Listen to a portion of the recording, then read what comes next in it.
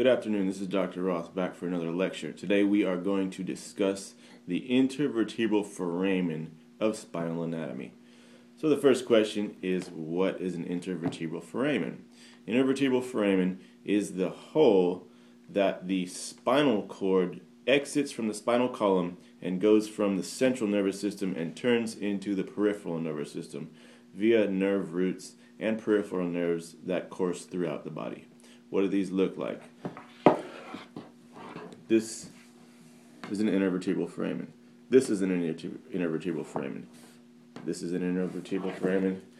This is an intervertebral foramen. And you get it? Intervertebral foramens, uh, where are they located? Intervertebral foramens, or the holes through which the spinal cord leaves the spinal column and turns into nerves, are located from the cervical spine, from the neck, all the way down through the thoracic spine, the mid back, into the lumbar spine, the low back, and into the sacrum, the very low back.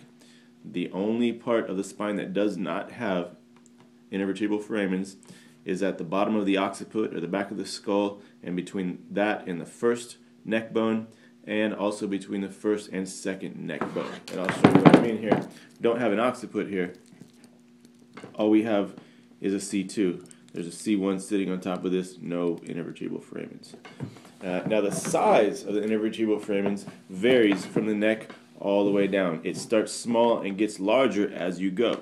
Okay, so it starts at anywhere about five millimeters, uh, a little bit bigger, a little bit smaller in the top of the neck, and goes all the way down to as large as 18 millimeters in the low back for one of the holes. Okay, so you can, as you can tell, that's a pretty big difference from here in the neck, intervertebral foramen gradually getting bigger as you go down, all the way down to up to 18.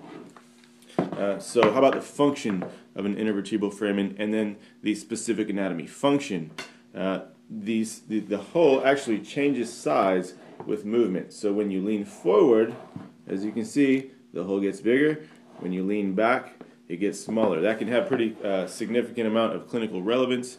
Uh, when it can tell you uh, specifically how to diagnose and therefore treat certain conditions. So, if you are leaning forward and it feels better, and then you lean back and it feels worse, that could possibly tell you, among other things, that there is a nerve root compression or something, some some type of blockage in the intervertebral foramen. Okay.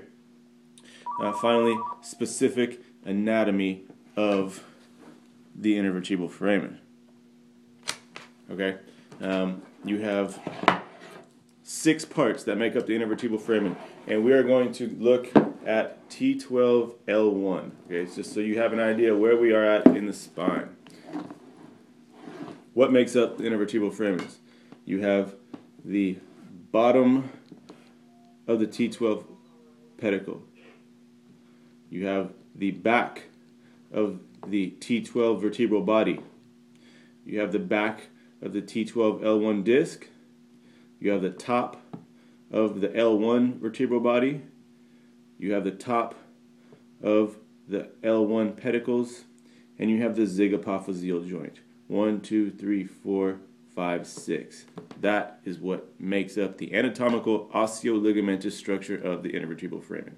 Next time we will be discussing the nerves, arteries, veins, and other tissues coming in and out of the intervertebral foramens. Thank you very much. Look forward to speaking to you in my next lecture.